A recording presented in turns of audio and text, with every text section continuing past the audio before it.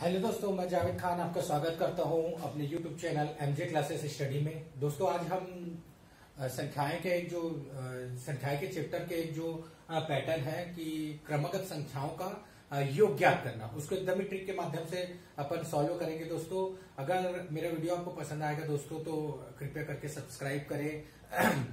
Channel को, क्या बोलते हैं सब्सक्राइब करें। उसके बाद वीडियो को लाइक करें कमेंट करें और शेयर करना ना भूलें।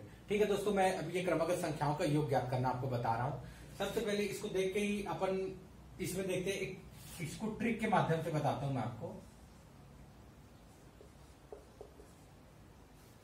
इसमें ट्रिक के माध्यम से बताता हूँ आपको। यहाँ पर अपने को क्या करना है, सबसे पहले यहाँ कुल संख्या देखनी है। कुल संख्या मतलब कितनी है? एक, दो, तीन, चार, पाँच करके ऐसे दिख रहा है अपने को साठ है। कुल संख्या कितनी है? साठ है। तो यहाँ पर n बराबर n यानी होता है संख्याएँ।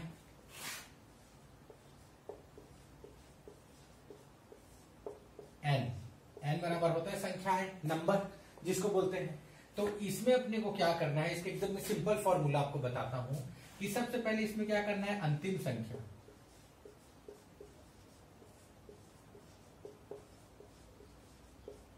अंतिम संख्या लेना है। उसके बाद क्या लिखना है? प्लस। प्रथम संख्या।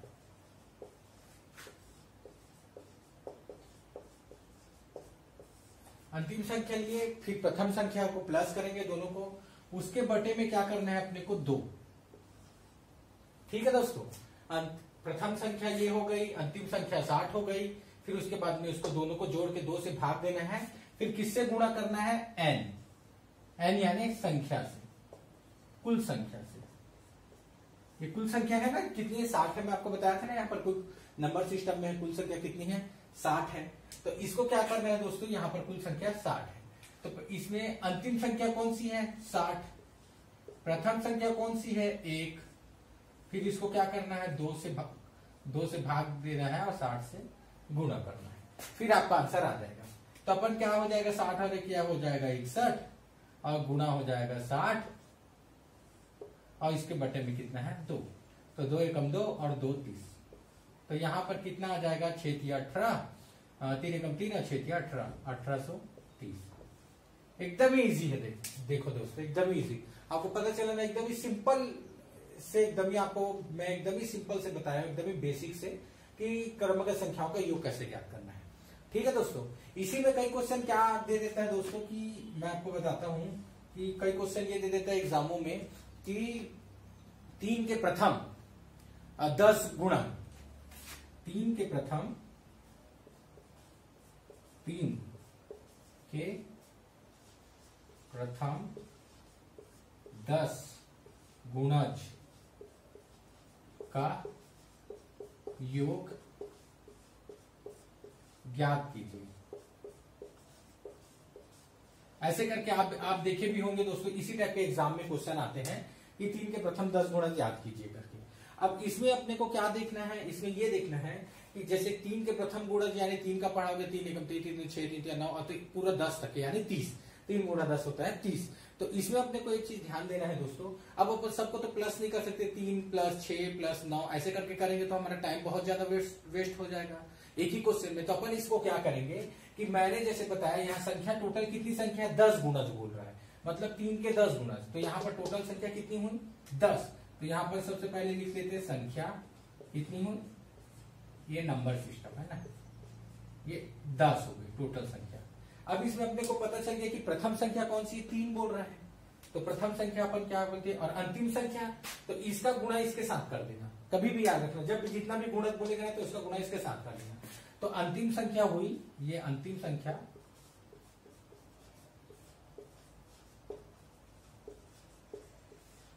धन प्रथम संख्या।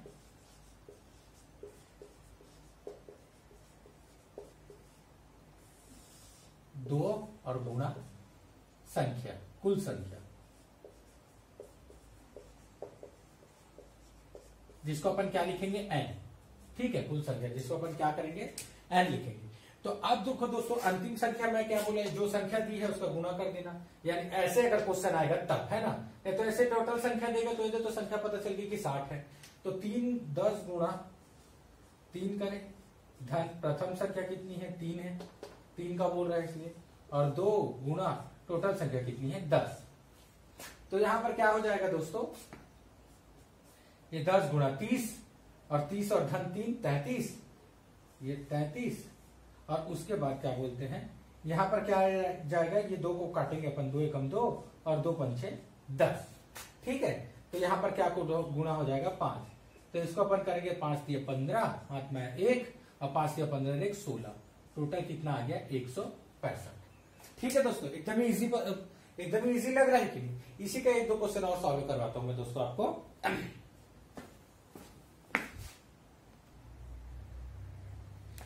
तो इसमें थोड़ा सा अलग एक स्टेप बढ़ के आगे मैं आपको बताया हूँ कि 100 से जो है 200 के बीच में, तीन से भाग जाने वाली संख्याओं का अपने को योग ज्ञात करना है। देखो, उसमें क्या था? इसमें संख्या तो ज्ञात हो जाता था एन है ना? टोटल कितनी संख्या पता चल जाता था। अब इसमें अपने को क्या करना है कि टोटल कितनी संख्या पहले ज्ञात करना पड़ेगा? तो उसका भी मैं आपको एकदम ही शॉर्ट ट्रिक से बताता हूँ कि टोटल कितनी संख्या है, वो आपको पता चल जाएगा। जैसे अपन देखते हैं इसमें क्या है? कि सौ से एक सौ के बीच में। तो पहला संख्या कितना होगा?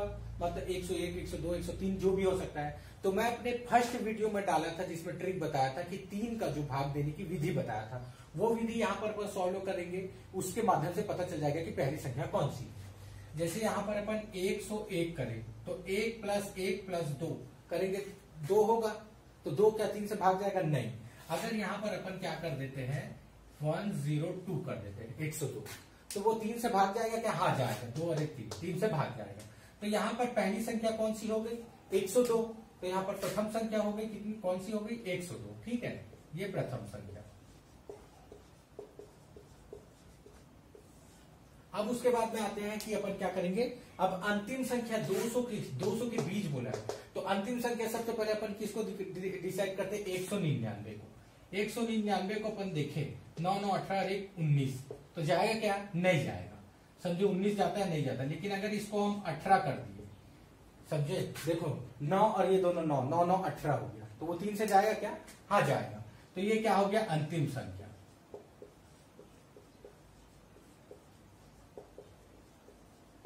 ठीक है? अब बोलोगे, सर, प्रथम संख्या, अंतिम संख्या तो दिख गया, लेकिन संख्या भी दिखा है, क्योंकि इसमें योग ज्ञात करना भाग जाने वाले का योग। और सिर्फ़ भाग देने वाले की संख्या भी बता देता हूँ। कई बार पूछना कि भाग देने वाली संख्या भी कितनी है? जैसे एक स्टेप और जोड़ देते हैं कि कितनी संख्या है 200 के बीच में तीन से कितनी संख्या भाग जाएगी। ये भी क्वेश्चन आ जाता है, उसका भी आंसर अभी तुरंत आ जाएगा। तो संख्या निकालने का सूत्र क्या है? ये संख्या, कुल संख्या निकालने का सूत्र है। फॉर्मूला है, अंतिम संख्या। सेम है, बस एक तो अंतर है। अंतिम संख्या माइनस प्रथम संख्या।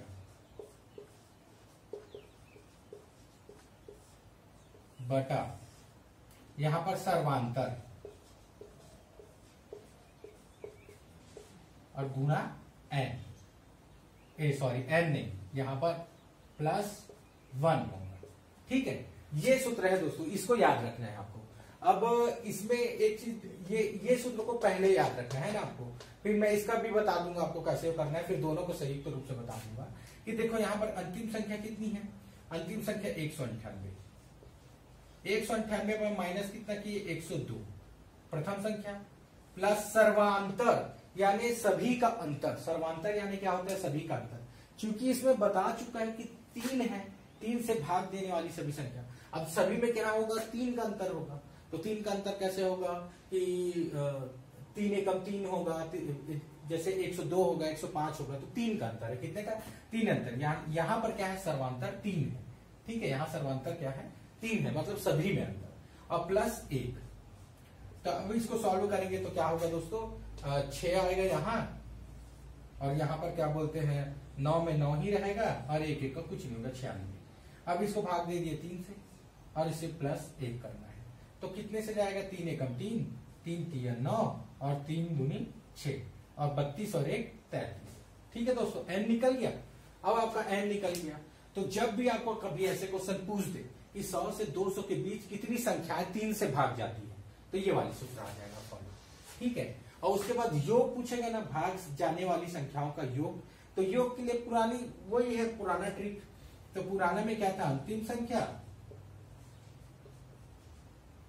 प्लस प्रथम संख्या दो और गुणा एन तो अंतिम संख्या यहाँ पर कौन सी हो गई? अंतिम संख्या यहाँ पर मैंने आपको बताया था, पहले ही बता दी अंतिम संख्या एक सौ अंठानवे प्लस एक सौ दो। दो और गुणा एन यानी तैतीस। यहाँ पर कुल संख्या तैतीस है। तो इन दोनों को जोड़ेंगे तो कितना हो जाएगा? दोस्तों तीन सौ हो जाएगा। ये तीन सौ हो गया। अब तीन सौ और दो और गुणा तैतीस है। ठीक है दोस्तों तो अपन इसको क्या करेंगे? काट देंगे। इन दोनों को जोड़ेंगे तो तीन सौ आया, ठीक है? ये डेढ़ सौ। और डेढ़ सौ को इससे करेंगे तो पंद्रह दिया, पैतालीस। ज़ीरो ज़ीरो, चार सौ पचास। फिर गुणा करेंगे तो पंद्रह दिया, फिर पैतालीस। चार सौ पचास। यहाँ ज़ीरो, चार, पाँच पाँच, दस, पाँच हज़ार चालीस टोटल आंसर कितना है? पाँच हज़ार चालीस ठीक है दोस्तों? है ना एग्ज़ाम ट्रिक के माध्यम से? ये थोड़ा दो क्वेश्चन एक साथ मैंने बता दिया। इसलिए इतना लंबा हुआ, वो लग रहा लंबा है दोस्तों, लंबा है नहीं। जब आपको क्या बोलते हैं, बना बना के प्रैक्टिस हो जाएगी ना तो आप तुरंत बना दोगे। तो ठीक है दोस्तों, अगर मेरा वीडियो आपको पसंद आया तो ये भाग एक है दोस्त, इसके बाद में भाग दूसरा भी बनाऊँगा इस वीडियो का। इस चैप्टर का, इसी से, क्योंकि इससे बहुत क्वेश्चन पूछे जाते हैं। स्पेशली रेलवे में जो है, बहुत ज़्यादा क्वेश्चन पूछे जाते हैं। तो ग्रुप डी और एनटीपीसी के लिए मैं ये एक और बताऊँगा आपको वीडियो तो मेरा वीडियो आपको पसंद आया तो दोस्तों, कृपया करके क्या बोलते प्लीज़ सब्सक्राइब करना ना भूले और वीडियो को शेयर करें लाइक करें। अगर मेरे से कोई गलती हो गई तो उसे कमेंट में ज़रूर बताएँ। मैं आगे अपनी वीडियो में सुधारने की कोशिश करूँगा, क्योंकि हर इंसान से गलती होती है। थैंक यू दोस्तों।